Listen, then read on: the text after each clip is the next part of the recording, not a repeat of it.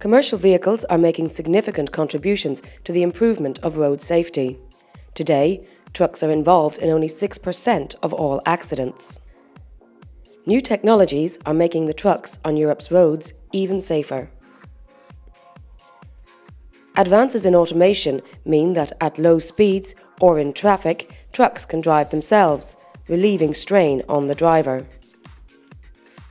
A large part of the 32 billion euros the European automobile industry invests in research and development annually is spent on safety measures.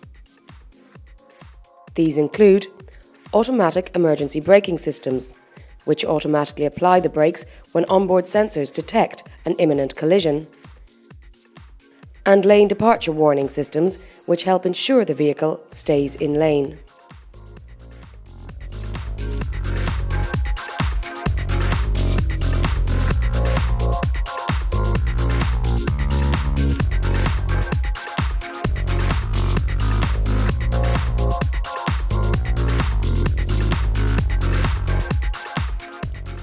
Additional sensors detect if a driver's attention is waning and warn them of the need to take a break.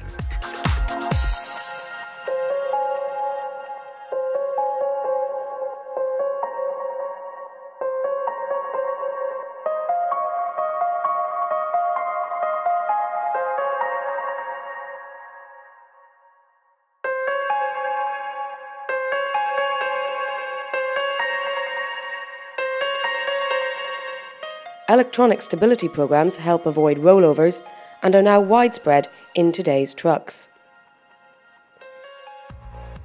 Europe's commercial vehicle manufacturers are doing their part to ensure that people, goods and services are delivered safely, efficiently and on time.